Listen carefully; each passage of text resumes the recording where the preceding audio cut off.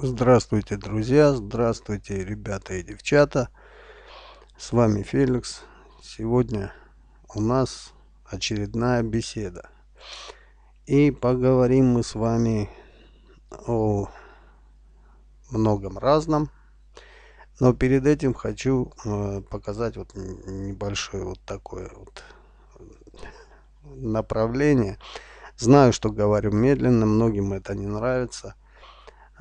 Ну, у меня нет никаких заранее заготовленных текстов, поэтому иногда даже сам себя, вот я слушаю, вот есть такая вот кнопочка настройки, это те, кто не знают.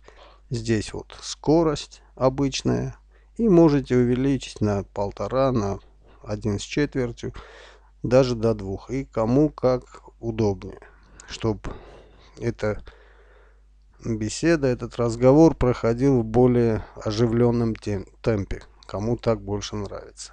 Итак, пару дней назад я сделал две группы на Фейсбуке.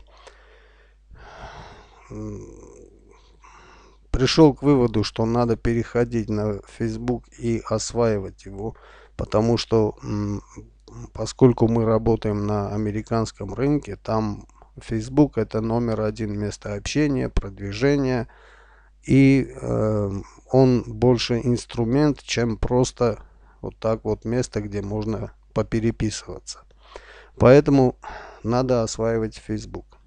Это одна причина. Вторая причина в том, что именно группа на Фейсбуке дает возможность сосредоточить все в одном месте.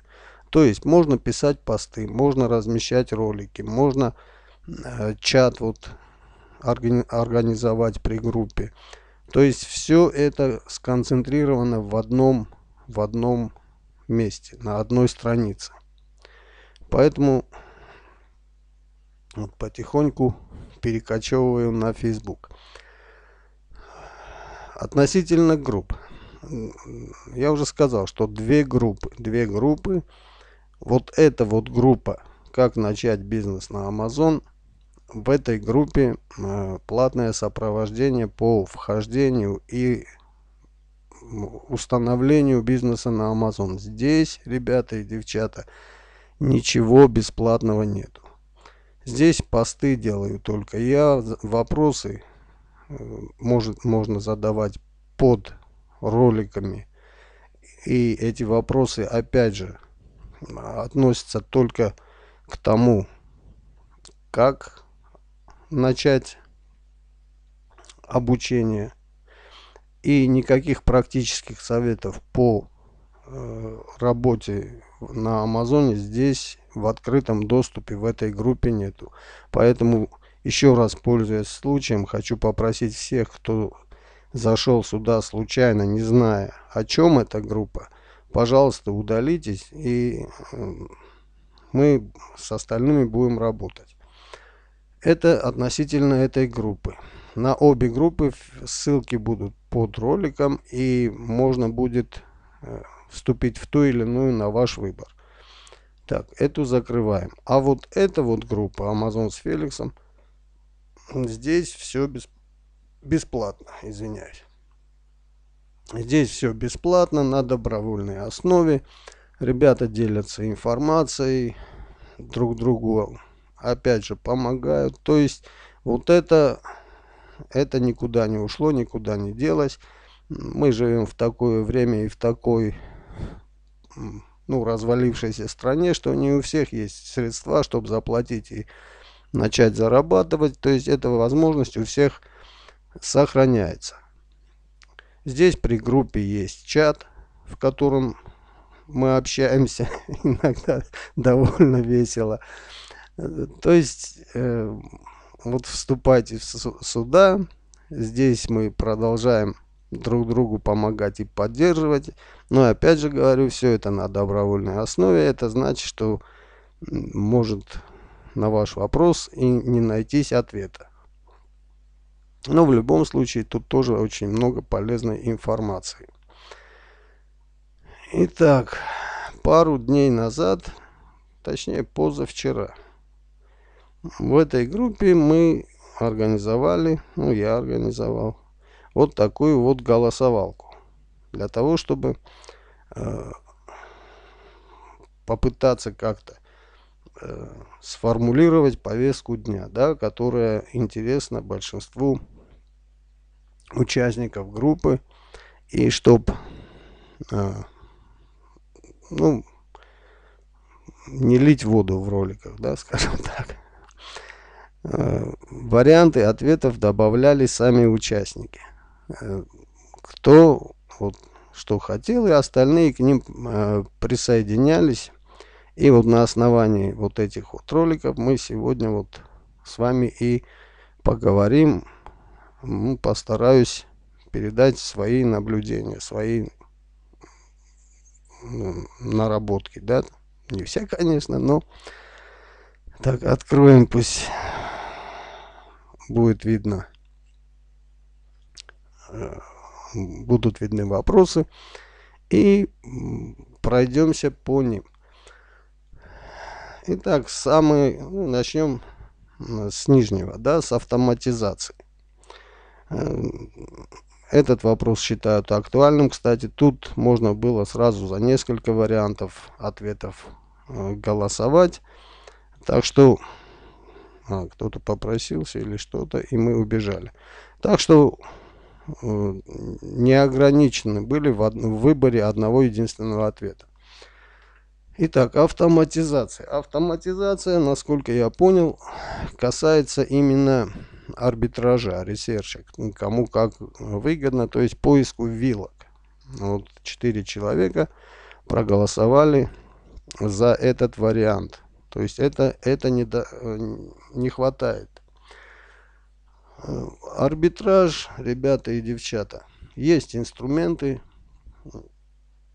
инструменты арбитража автоматизированные, но они, во-первых, стоят очень дорого очень дорого, это ну, 100 долларов в месяц. Абонплата, нет инструментов ну, нормального арбитража, который будет вам искать эти вилки и которые стоят бесплатно. Всякие хакнутые версии, они, они ну, не то, они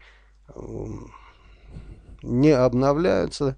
То есть э, создатели вот этих программных обеспечений, это надо нам всем знать даже то, что бесплатно вот есть в свободном доступе, и они предоставляют, они не всегда работают корректно. А хакнутая версия, она может с любым, допустим, небольшим изменением на Амазоне или там с, с другим сайтом, с которым эта версия работает, если там на сайте небольшое изменение, то все это ну, уже никуда не годится, потому что вот версия не обновлена. Так что Ну, а то, что обновляется, оно стоит э, абонплату ежемесячную и стоит прилично.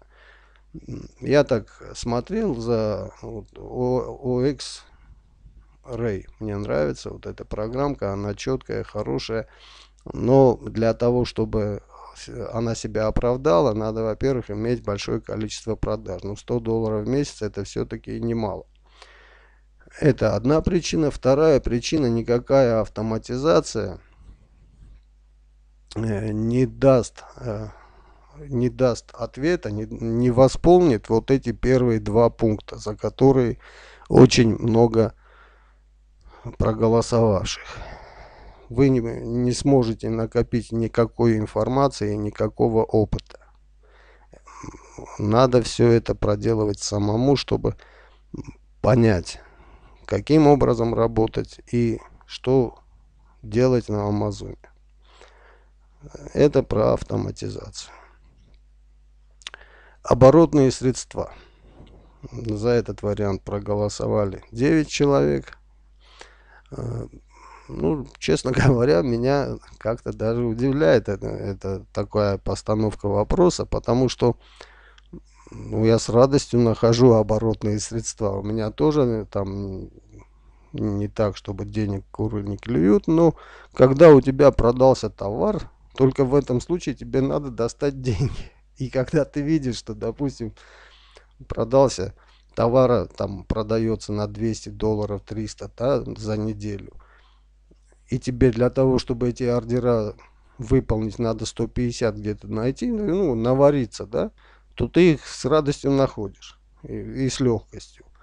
Э, именно вся прелесть дропшиппинга в этом, что тебе нужны деньги только после того, как тебе уже заплатили за то, чтобы ты подешевле что-нибудь отдал ну, клиенту.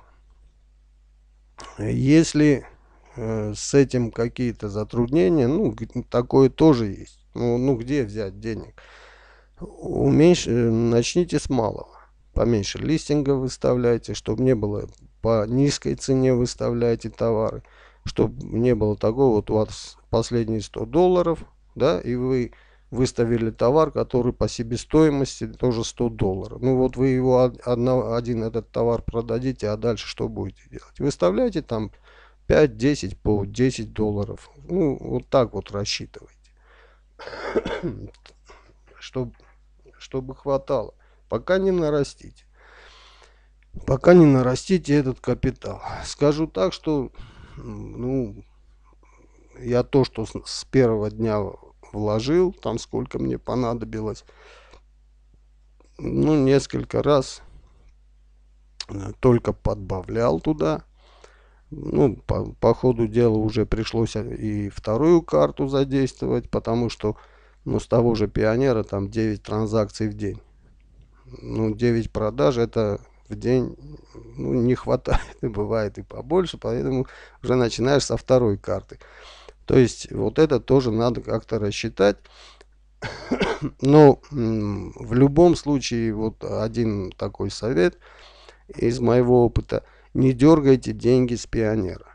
Не дергайте деньги с пионера, ну, понапрасну, потому что, ну, сняли, потом опять докладывать, это все проценты туда, проценты сюда, лишнее движение денег, оно, ну, не оправдывает себя.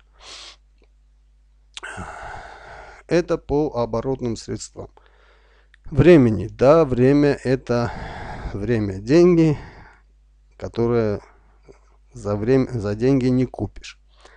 Что сказать?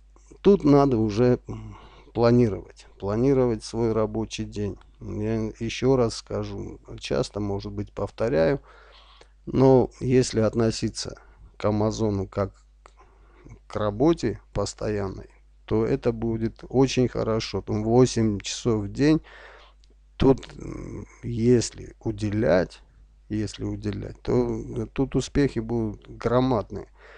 Но понятно, что мы все работаем, не опираемся на Amazon, ну, по привычке, да, вот есть работа, и мы ходим, ходим работаем на дядю какого-то, ну, то для себя уж надо, для своего бизнеса там, найти час-два в день это ну, надо, надо запланировать, это вам никто с вами временем не поделится.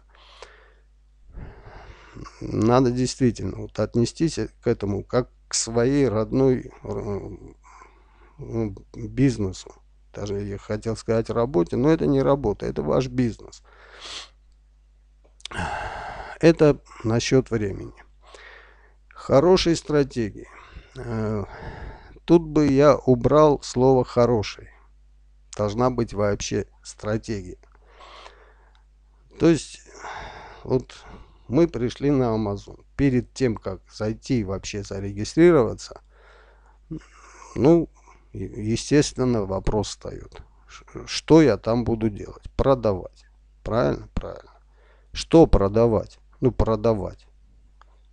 И если ответ у вас все подряд, то это не ответ это все равно, что вот я пришел на стройку и буду делать все подряд. Там и кирпичи класть, и стяжку делать, и, не знаю, плотником работать. Такого не бывает, значит вы ничего не будете делать. Надо выбрать что-нибудь. Ну, есть, допустим, плотник-краснодеревщик, да, это еще более понятно. Там он и плотник, и мебель делает. А вот так, чтобы там и прямо он все на все руки мастер, ну, э, нету такого. То же самое касается вот стратегии. Надо выбрать товар, надо выбрать категорию, надо более конкретно подойти вот именно э, к той сфере, в которой вы хотите осуществлять продажи. Вот когда вы это сделаете, у вас все будет получаться легко. Легко и просто. А когда вы кидаетесь, вот сегодня давайте я буду там игрушки делать, завтра буду там холодильники выставлять, послезавтра, не знаю, кофеварки, так, так не получится. Так не получится. Вы, опять же, вот возвращаясь вот к автоматизации, вы ничего не изучите. Вы ничего не проанализируете. Этот автомат вам, допустим, будет выдавать всякие вилки, всякие пары. И вы э, окажетесь, вот чуть позже я опять вернусь к этой автоматизации. Вот чем она плоха. Окажетесь э, здесь. То есть стратегию разрабатываете каждый под себя. Если, допустим, вы технарь, вы хорошо разбираетесь там во всяких там устройствах, да, ну, скажем так, вы инженер, то вам надо продавать, допустим, инструменты, продавать всякие вот такие, то, что вам ближе. Вот в этом плане надо разрабатывать стратегию. Разрабатывать, следовать этой стратегии в течение определенного периода быстро не получается. Ребята и девчата, это не быстрый заработок. Надо проработать период. У меня был ролик. Делать анализ своей работы и улучшать ее. Без этого не получится. Вы зря будете терять время. Ну и следующие два популярных вопроса, ответа. Это, опять же, вытекает одно из другого. Да, опыт, информация и опыт. То есть информация накапливается вместе с опытом. Пока у вас не будет опыта, не будет информации. То есть техническую сторону там не, не сложно, да, там как выставить товар, как сделать, как, как, как, то, то, то, но это не опыт. И информация, опять же, с течением времени э, накапливается, накапливается. Давайте я вам сейчас покажу свой компьютер. Это у, меня тут э, рабочий кабинет, да, вот это. Вот здесь, допустим, соцсети, я быстро захожу здесь. Одно здесь, другое, все рассортировано, раз, разложено. Много ссылок, на которые надо еще посмотреть, которые я не успеваю. Все это запланировано, все это распланировано. И везде, везде, под, в каждой папки, подпапки и так далее. вот это все информация. Это все информация, которую надо иметь под рукой, надо накапливать. Она у каждого эм, под себя. Вот если вот так взять и все эти ссылки вам скопом отдать, они вам не нужны. Вы не знаете, что для, тут, что для чего. Так что вот это вот, вот это вот все информация. Это все невозможно держать в голове, но ты знаешь, что вот у тебя есть по этому поводу такое-то или то-то или то-то. Я уже не говорю, здесь у меня море закладок. То есть все это надо накапливать. То есть, опять же, получается так, что информация накапливается вместе с опытом именно нужная вам информация. Общей, общей информации много, как на канале, так и с чата вы получаете общую информацию. Но под вашу стратегию, именно под ваш бизнес, накапливаете вы вместе с опытом. Вот пару роликов назад, да, где-то 3-4 дня назад, я показывал, у меня не было продаж. Я, я разрабатывал свою стратегию. Не, не день, не два, а несколько месяцев. И э, она основана именно на моих, э, как сказать, на моих наблюдениях. Если из, из всей этой массы, допустим, выдернуть 5, 10, 20 товаров, то эта стратегия, она порушится полностью. Товар из той категории или, или это, это как, как бы единое целое. Она может э, иногда приносить много пользы, иногда мало. Ее можно подправлять. Да? А вот чтобы она обрушилась, такого не бывает, потому что это выстроено. Вот так же вы должны выстроить себе вот эту стратегию. Стратегию, основанную на категориях, основанную на, товарах, основанную на всяких нишах, даже вплоть до цветов. Там имеет значение, какого цвета товар, да? Но это ваш товар. Допустим, красный велосипед – это не то же самое, что красное платье. Вот есть очень много вот э, таких вот нюансов, которые у каждого свой. Дальше. Очень много часто я говорю об анализе. Есть инструменты анализа, инструменты отслеживания, инструменты ну, помогающие ориентироваться э, в этом незнакомом нам рынке. Мы не знаем предпочтения, вкусы американцев, мы не знаем, большинство из нас. То, что кажется хорошим и продающимся для нас, не может показаться полной ерундой для американцев. Поэтому многие, ну почти все знают вот эту страницу Амазона, э, которая называется «Бестселлеры». Вы можете просто в строке набрать бестселлер Амазона, вам выдаст эту страницу. Но э, на этой странице не это главное. Главное, вот есть тут такой вот, такая вот заклад, закладка Movies and Shakers. Пере, переходим на нее, и здесь мы видим тенденцию. Вот эти вот зеленые стрелки показывают процент вырастания спроса на тот или иной товар. Вот эта страница главнее бестселлеров. Здесь вот на главной странице подборка по некоторым категориям, но вот здесь вот в левой стороне сайдбара можно ну, до мелочей пройтись. Вот, допустим, телефоны и аксессуары переходим. Видим в телефонах и аксессуарах, что и исходя из этого, ну 100 товаров вот под тенденцией спроса. То есть мы здесь видим, на что растет спрос. Даже по сезонно можно посмотреть. Это уже надо хотя бы год проработать, да, вот, чтобы узнать, к зиме нарастает спрос на это. Ну, это так, к слову, к зиме нарастает спрос на это, к весне на то, э, там к осени на пятое, на десятое. То есть это опять же тот же опыт, который нужно набрать. Нужно набрать. И вот самый лучший инструмент на сегодняшний день, никаких автоматов, никаких полуавтоматов не надо. Заходи, заходишь сюда, смотришь, если ты продаешь там, не знаю, ну, вот дом и кухня, да, допустим.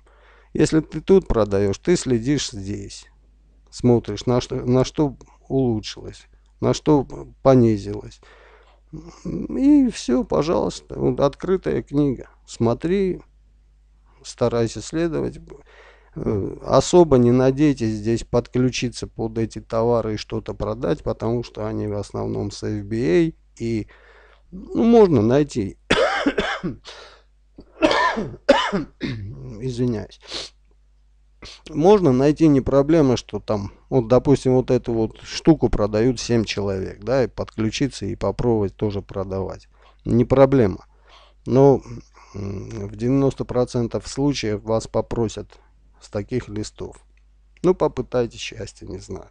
Но в любом случае, я сюда захожу только посмотреть именно на тенденции. Что растет в спросе, что падает в спросе. И исходя из этого, ориентироваться на вкус и потребность американцев. Второй удобный инструмент, тоже он как, как бы сказать, тоже нам показывает тенденцию. То есть спрос, на что э, хороший спрос. Это инструмент от eBay. Никто почему-то об этом нигде в группах не говорит. Я на eBay не работаю, просто вот смотрю. То, опять же, за тенденцией. Ну, не знаю. У нас есть ребята eBayевцы. Там в группе и по eBay где-то были ну, была голосовалка, там люди работают на eBay. Опять же, ну здесь чуть-чуть ознакомлю, это инструмент от самого eBay. То есть лучше вот этих двух инструментов вам никто ничего не покажет, что популярно на Amazon, что популярно на eBay. Всякие сторонние платные ресурсы, они э, вытягивают информацию отсюда. А здесь уже вытянут. Значит, ну, естественно, выбираем eBay. Здесь есть выбор по категориям. Чуть-чуть пройдемся по ним. Можно выбрать категорию, какую вы хотите. Опять же, если вы в кухне торгуете, выберите кухню, посмотрите, что покупают ebayевцы по кухне. Следующее здесь настройка, вот эти настройки, это каждый э, за последний час меняется статистика. В этом плане это намного лучше, чем у Амазона. Вот эти секунды идут. Сейчас через 30 секунд вот эта страница обновится, может поменяться, там могут поменяться позиции. Позиции по прода продающимся товарам. То есть ну, ежеминутный э, отчет по продажам на eBay. Это ну, куда уж более тонкий инструмент аналитики э, спроса. Да?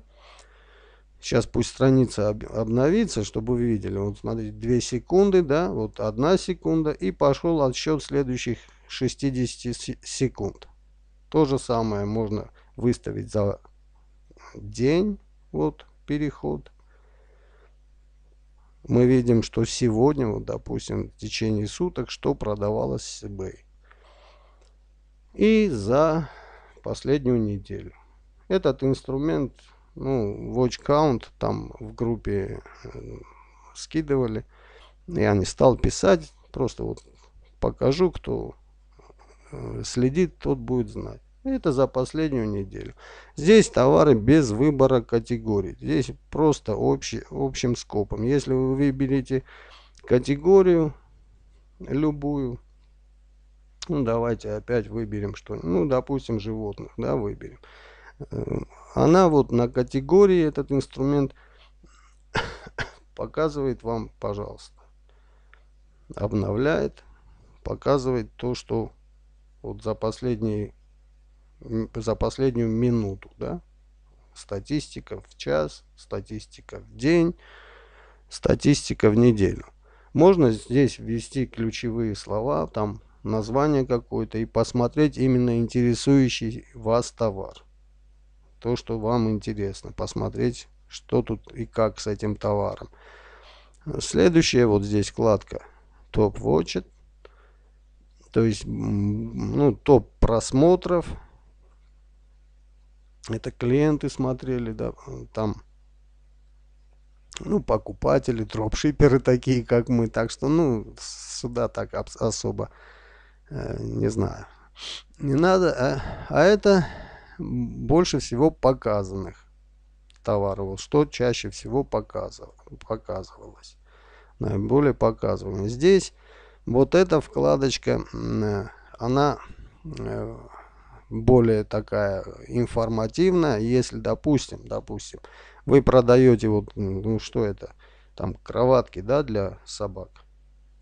Вы можете перейти на этот товар, открыть его и посмотреть, каким образом здесь составлено описание, какие тут слова используются. То есть вы, выдача в поиске, вот это хорошее, да, вот на первом месте, и воспользоваться. Если у вас, допустим, ну, какой-нибудь вот такой товар или такой, ну, посмотреть вот каким образом э, сделано описание, какие слова использованы, и вот э, с этого, вот с этой вкладки взять вот это.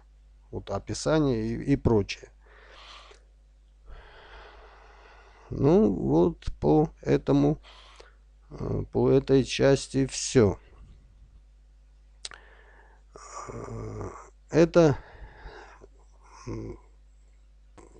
вот опять же насчет автоматизации. Вот, это, вот этого никакой автомат вам не сделает. Вот этого, вот то, что я сказал, вот посмотреть здесь, посмотреть здесь, сравнить ну, стратегию он вам не выработает. Никакой автомат. А кучей навалить, да. И еще что есть. Опять же, вот этот отслеживатель вилок, который будет вам на автомате э, делать вилки, да, показывать. Э, если вы не замечали, я вам скажу.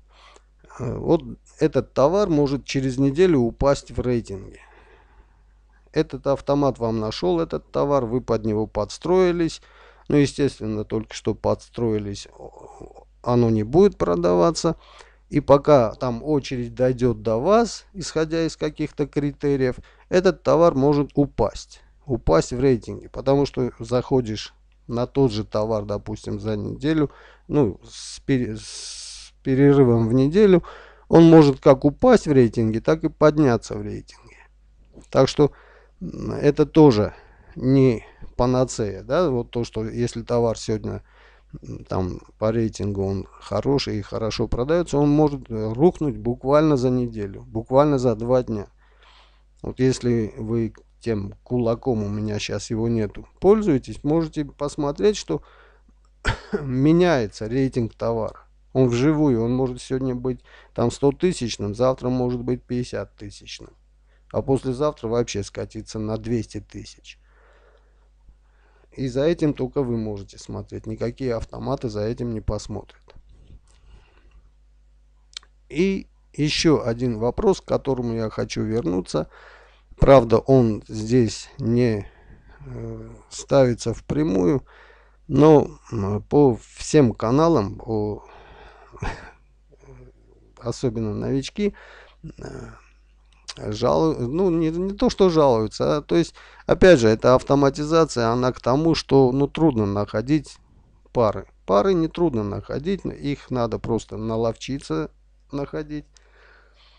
Я вам сейчас покажу, вот, вот эта закладка, это мои поставщики только с eBay.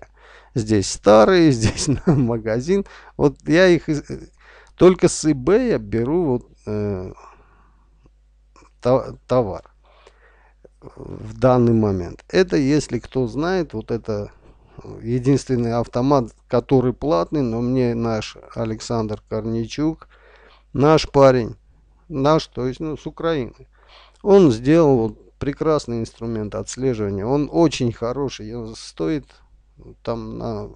Он мне бесплатно дал, я поэтому цены так не знаю, но знаю, что максимально э, где-то 15 долларов за тысячу товаров, что ли, отслеживает. Ну, просто сказка. И он не просто отслеживает, а большой помощник. И вот если вот на эти цифры посмотрите, а, они вам ничего не скажут, потому что я тут, тут по-своему э, вводил их. Но для чего показываю этот инструмент? Просто увеличил, чтобы там товары не, вид... не виднелись. Вот смотрите, магазины, в которых я беру. Walmart, Walmart. Ну и давайте прокручу ниже. Смотрите, eBay, eBay, eBay, eBay. Тут 100 с лишним товаров,